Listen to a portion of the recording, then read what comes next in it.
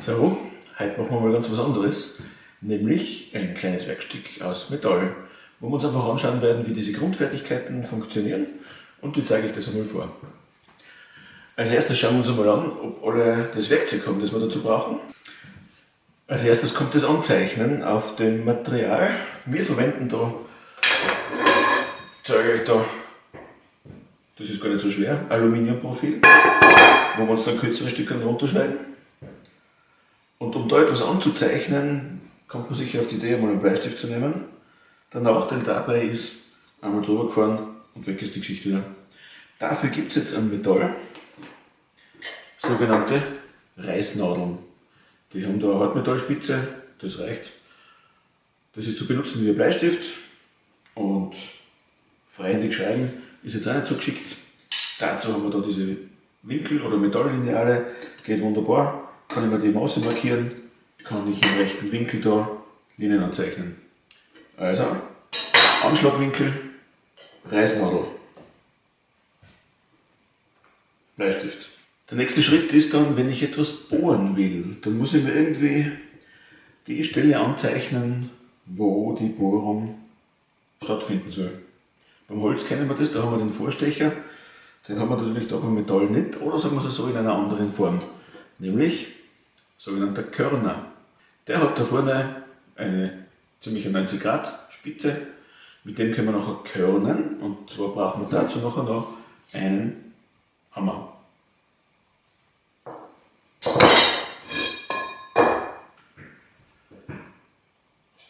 Stellen wir uns vor, wir wollen das jetzt bohren, dann schnappen wir dazu einen Schraubstock. Also mit der freien Hand ist da beim Metall nichts mehr. Ja? Das kann ich jetzt einfach so einspannen in diesen Maschinenschraubstock. Oder, oder ich schnappe mir aus meiner Restekiste einfach zwei Stückel Holz und die schützen dann das Aluminium oder das andere Metall, was ich gerade verwende, vor irgendwelchen Beschädigungen oder Kratzern. Okay? Kurze Zwischenbilanz. Bleistift, Reißnadel, Winkel, Körner, Hammer, Maschinenschraubstock und irgendwelche Schutzmöglichkeiten. So, wenn wir da bohren und wir haben bis jetzt immer unsere Holzbohrer verwendet, ihr kennt die, das sind die mit der Spitze da vorne drauf. Die können wir natürlich da beim Metall nicht mehr verwenden. Da haben wir jetzt die Metallbohrer, die kennt ihr sicher auch. Die haben im Vergleich dazu ganz anders geformte Spitze. Sieht man das? Sonst filme ich das nachher nochmal näher. Mit denen kann man im Holz bohren, aber eigentlich sind es Metallbohrer. Und mit denen kann man nur in Holz bohren. Da spart man sich einen Vorstecher. So, Metallbohrer. Das werden wir nachher noch sehen, wenn wir da bohren, dann entstehen da unschöne Grate. Und um die zu entfernen, gibt es die sogenannten Senker, in dem Fall sind es Kegelsenker. Guter Bezug zur Mathematik, gell? wenn man sie dreht, dann ergeben die ungefähr die Form von einem Kegel. Mit dem können wir wunderbar entweder mit der Maschine oder von der Hand aus die Grate entfernen. Empfehle ich unbedingt. Also wer den nicht hat, sollte sich anschaffen. Nächster Schritt. Also, wir haben bis jetzt angerissen mit der Reißnadel und dem Winkel, die Bohrungen gekörnt mit Hammer und Körner. Wir haben sie gebohrt mit einem Metallbohrer und einem Kegelsenker und jetzt wollen wir etwas sägen. Dazu habe ich diese Metallsäge. Die heißt jetzt nicht Metallsäge, weil der Bügel aus Metall ist, sondern weil das Sägeblatt für Metall ist. Man kann sich das dann genauer anschauen.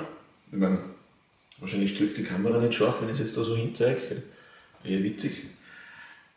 Aber man merkt dann schon, wenn man sich das anschaut, das ist so ein leicht gewelltes Sägeblatt. Und das braucht man Metallbohren, weil dadurch ist nämlich die Nut, die man da sägt, breiter als, wie das, Säge, als das Sägeblattel. Dadurch klemmt es nicht, die Reibung ist vermindert und das Sägeblattel haltet länger. Metallsäge. Zu guter Letzt, wenn wir alles gemacht haben, dann werden wir auch feststellen, wenn wir da was abgesägt haben, da, da sind auch so Grate, die ein bisschen unschön sind und da kann man sich wirklich blöd verletzen. Das sind so wie kleine Rasiermesser. Also da würde ich jeden am Anfang gleich mal fühlen lassen. Das spürt man. Aber auch da gibt es Abhilfe. Wir haben da Pfeilen. Wenn man genau schaut, Flachpfeilen verwende ich da. Und zwar Schlichtpfeilen. Das sind so, wenn man es angreift, feine Pfeilen, da gibt es gröbere. Und von der Größe her, das sind normale Pfeilen für die Kinder und dann haben wir da noch Schlüsselpfeilen. Und mit den Schlüsselpfeilen können wir nachher da die Karte wegtun. Ich glaube, wir haben jetzt alles, was wir brauchen, um da arbeiten zu können. Ich würde sagen, ich zeige es euch noch einmal im Detail und dann legen wir los. Schauen wir es uns noch einmal an. Da ist also unser Rohmaterial, das Aluprofil. Alu, Aluminium.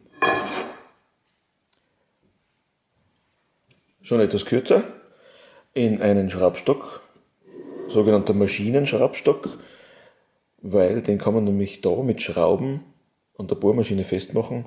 Eingespannt Schutz für das Material, Holzunterlagen, das reicht völlig.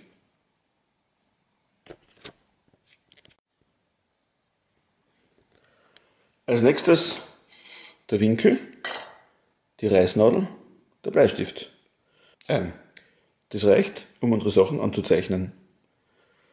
Man möchte es kaum glauben, gell? aber da, dass da diese Beschriftung in Zoll drauf ist, das bringt immer wieder Kinder durcheinander. Und wenn ich dann sage, schneid's mir bitte was oder markier bitte irgendwas mit 5 cm Länge, dann kommen dann solche Teile raus.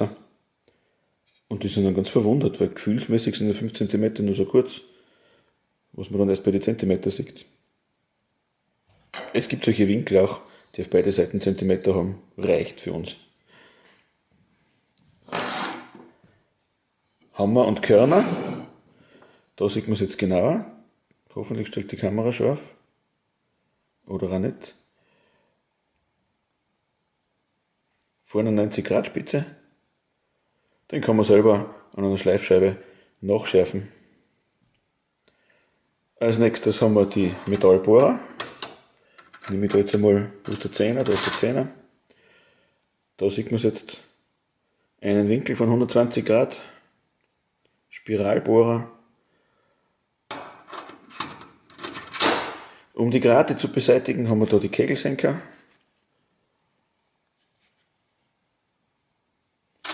Um zu sägen, haben wir da unsere Metallsäge. Man sieht es, jetzt glaube ich, sieht man es, gell? Das Sägeblatt ist da so gewellt. Das braucht man für die Metallbearbeitung.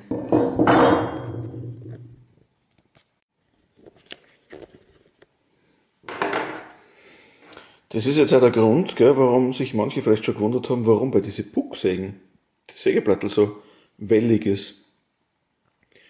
Wenn man da Metallsägeblätter drinnen hat, kann man die durchaus auch verwenden aber man sieht schon, wenn man es so nebeneinander legt, das ist jetzt eher für kleine Einschnitte. Wenn ich da gescheit sowas wie unser Aluminiumprofil durchsägen will, dann ist das einfach zu mini, da brauche ich da beide Hände und nehme die große Metallsäge. Ja, und dann hätten wir da noch unsere Pfeilen. Ja, wenn wir dann den Querschnitt anschauen, der ist also rechteckig, die nennt man Flachpfeile. In dem Fall ist es eine Doppelhieb-Schlichtpfeile. Von der Größe her sieht man schon, das ist etwa so groß wie meine Hand. Kann man auch erwähnen, die nennt man Handsägen von der Größe her. Und das da, das sind die Schlüsselpfeilen, in dem Fall auch. Rechteckiger Querschnitt, eine Flachpfeile. So. Falls ihr irgendwo in eurer Werkstätte so eine Maschine da entdeckt, das ist eine Schleifmaschine. Da würde ich nur sagen, Erstens einmal sind die Kinder sowieso Hände weg. Und wer sich das nicht zutraut oder noch nie gemacht hat, Hände weg. Hände weg. Einfach Hände weg. Weil im 0, nix sind die Finger da drinnen. Und wie sage ich immer so schön, da kann man dann die Biologielehrerin holen, die erklärt ihm nachher den Knochenaufbau, weil das sieht man wunderbar da drinnen. Aber, aber wenn man es kann, dann kann man da den Körner in etwa der Stellung schleifen und so immer wieder spitz machen. Das ist eine relativ einfache Übung. Viel schwieriger ist es, das muss man gelernt haben. Man kann aber an diese Schleifscheiben auch die Bohrer nachschärfen. ob ich das überhaupt sage, bei einem Anfängerkurs. Naja, jetzt wisst ihr wenigstens, wofür die Scheiben da gut sind. Und in erster Linie sind sie dafür gut, dass man nicht hingeht. Finger weg.